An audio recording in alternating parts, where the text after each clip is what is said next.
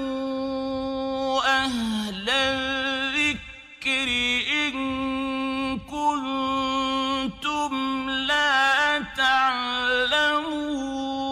تعلمون আসসালামু রহমতুল্লাহ বারাকাত বোন প্রশ্ন করেছেন মৃত্যু ব্যক্তিদের গিবোধ করা এটা আহ, কতটুকু ঠিক এবং যদি গিবোধ করা হয় কেমতের দিনে কি আমাদের আ- আমল নামা তাদেরকে তাদেরকে দেওয়া হবে কিনা দেখেন রসুল করিম সাল্লাহ আলাইসাল্লাম সাধারণভাবে মৃত্যুদের ব্যাপারে গালমন্দ এবং তাদের পিছনে কথা বলা কঠোরভাবে নিষেধ করেছেন। যেমন বুখারির আপনি এক হাজার তিনশো তিরানব্বই নম্বর একটি হাদিস পড়বেন মা ইশা রাজিয়াল্লাহ তাআলা আনহা বর্ণনা করেছেন, রসুল করিম সাল্লাহ সাল্লাম বলেছেন তাসুবুল্লাহ মদ ফাইনহুম কাদ আফদাউ ইলা মা তোমরা মৃত্যুদেরকে গালি দিও না, যেহেতু তারা নিজেদের কৃতকর্মের পরিণতি পর্যন্ত পৌঁছে গিয়েছে। অর্থাৎ তার ভ, তার ফল সে ভোগ করছে। যে যা কিছু দুনিয়াতে যা করছে, সেটাতে তার ফল ভোগ করছে। গালি দেওয়ার কী প্রয়োজন?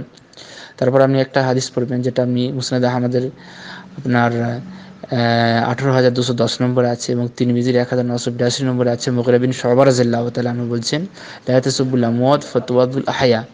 তোমরা মৃত্যুদেরকে গালি দিয়ে জীবিতদেরকে কষ্ট দিও না। তাহলে দেখেন। মৃত্যুদের ব্যাপারে কটু কথা বলা এগুলো শ্রী কৃষ্ণ চরমভাবে নিষেধ করেছেন। আর কেউ যদি এই ধরনের কথা বলে বেশি ডেঞ্জার কেন জীবিত ব্যক্তিদের যদি পেছনে কথা বলে পরে তার কাছে ক্ষমা চেয়ে নেওয়া হবে। কিন্তু মৃত্যুদেরকে গালি দিলে তাদের পেছনে কথা বললে কীভাবে ক্ষমা চাইবেন? আর হতে পারে আল্লাহ তবরাক তাআলা আপনার নেকি কেটে, আমার নেকি কেটে তাকে দিবে।